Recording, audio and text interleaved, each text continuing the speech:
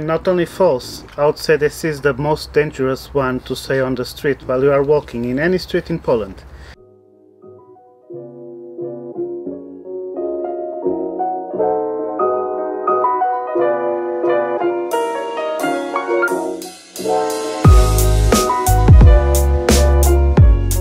Hey you guys, today we would like to talk about some stereotypes that uh, people have about Poland. Yes. We look for them on the internet, some of them we know them. It's going to look like this. Maria is going to tell the misconceptions about her country and her people, and me, as a person that lives here for over seven years, I'm going to say if they're true or false. So the first one is that Poland is Russia. Nope. Yes, I found this in a lot of places, and let me tell that it's not true. This one is false. And not only false, I would say this is the most dangerous one to say on the street while you are walking in any street in Poland. They don't like to be compared with Russians. They have they don't have bad relationship with Russia, but they're not Russians and they don't like to be compared with Russia Yeah, just like uh, Portuguese don't like to be compared to Spain. because we are better. So people are like, "Oh, Lucy, you are from Portugal?" Yes. Oh, good. Gracias. You know how many times I Yes, listen this? so They're like, "Gracias." I was like, "Huh, good." So it's completely false. That's dangerous one to say it on the street. There's a tiny bit that touches the border. No one knows where this piece ended. No, historically, We like to think about Poland that it's Central Europe. yes. The rest is Russia after Poland. That's how I like to think. Kind of. yes. Okay. Number two, Polish people only drink vodka. that's also false. They also drink beer and wine. no, uh, Uh, but on every party there is vodka. yes, vodka is like your celebration drink.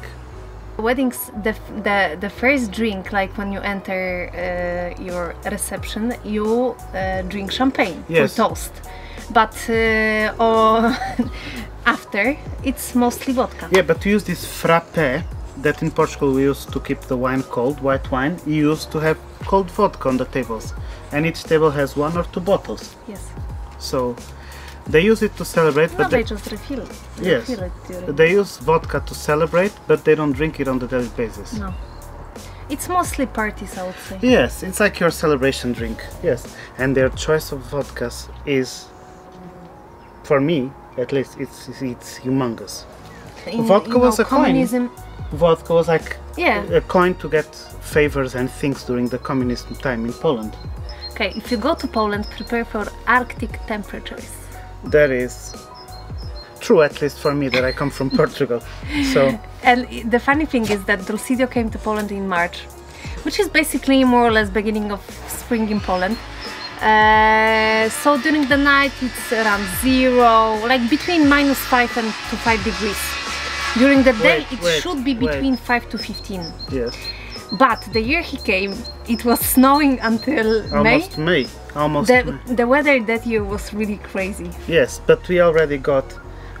We had a car. Well, all our cars were diesel, but we had a car that during night the diesel frozen, and we had to tow our car back home because it mm. didn't even start it. So it was minus 26 or Yeah, mi- something like close to minus 30, which I don't know how much is in Fahrenheit, but it will appear somewhere. And it's really cold sometimes, but it's also warm in the summer. So I, would say not that they have Arctic, they have more sharp seasons. When it's summer, it's really summer. When it's winter, it's really winter. Spring and fall, I would say that the weather is really unpredict- unpredictable. Yes. That you have to prepare for cold and you have to prepare for warm. And if you come during summer, you have to prepare for storms. It's weird, but it's true Yeah. that during summer you ha- can have the most beautiful day, and then it starts to rain and thunderstorm for 10 minutes, like crazy, but it can happen.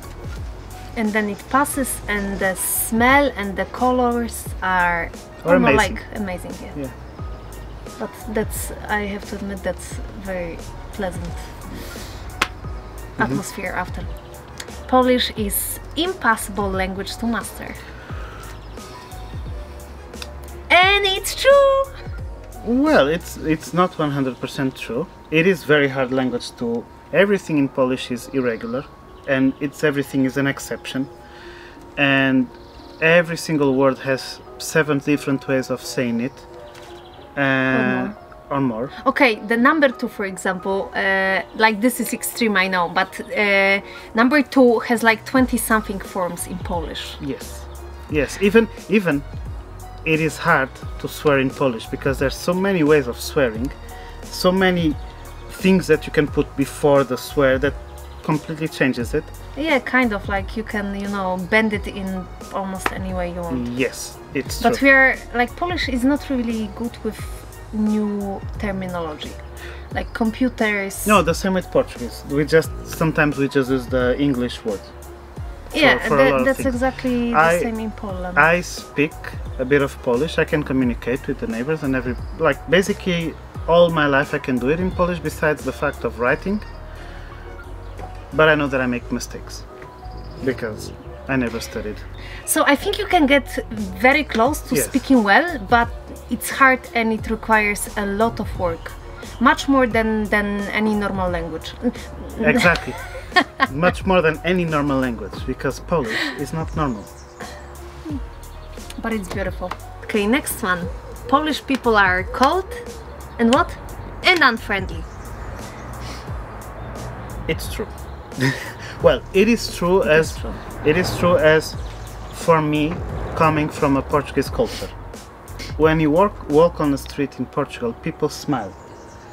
Here, they can go to the dreamland and they look like they are going to a funeral. They never express like they don't have a smile on their faces when they are walking. They are just like I go somewhere. And they are not happy about it, but they go somewhere. So this happens a lot and after you are friends with them they become very they become open and friendly. But the first initial basis that you touch with people it might not be the friendliest or the most welcoming compared to portugal. Uh, that's what i can compare. Yes. i heard that there are countries in the north that are even colder. People are even colder than in poland. And also there's another thing it's about complaining Not true. two things you can never do in Poland. One is to ask people how they're doing. How are you? Hey, how are you? Huh? Because we do this in Portugal and we like we don't care about that person. We just say, "Hey, how are you? Good and you? Good." Yeah, that's exactly that. I think you can you can uh, copy the idea from uh, USA of this question to Portugal. There Yes. is like, I don't really want to know uh, how are you and what's going on in your life. It's like extended hello. Yes, but in, And in Poland we don't ask how are you. because when you ask, you are just opening Pandora box and people will start to complain. And the second thing is that you cannot complain in Poland because everyone else has worse than you. It's a competition. Happened to me that once I woke up and I said we were with family and I said my head hurts and immediately uh, I lost because someone said yes my head hurts and I also have pain in my back. So I lost. You cannot express any kind of negative feeling because you have very good in your life and all the rest have worst. In general, Poland is a great country. Um, and you know there are these these stereotypes some of people have them but does not make it an unpleasant place to be or to live like any other country we'll do the same about portugal portuguese people when they say i'll do it later it means i'll never do it so you know we also have our flaws we are not perfect close to but not perfect That's recorded. huh That's recorded. what That you are not perfect as Portuguese. Because Dulcidio likes to, you know, brag about how Portugal awesome is. i'm not saying that poland sucks portugal is better Okay, so why you live here for the past seven years, eight because years? of you mm. You could, you know, take me there, but you never did. You never did because Poland is better to live. So yeah, I hope this doesn't discourage you to come and visit Poland, beautiful country.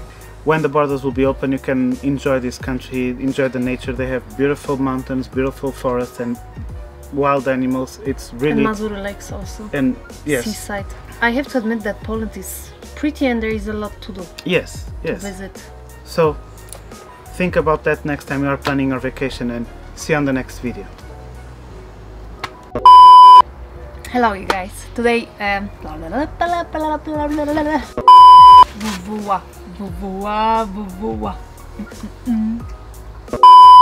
Oh, and beautiful woman. and beautiful woman. That's true.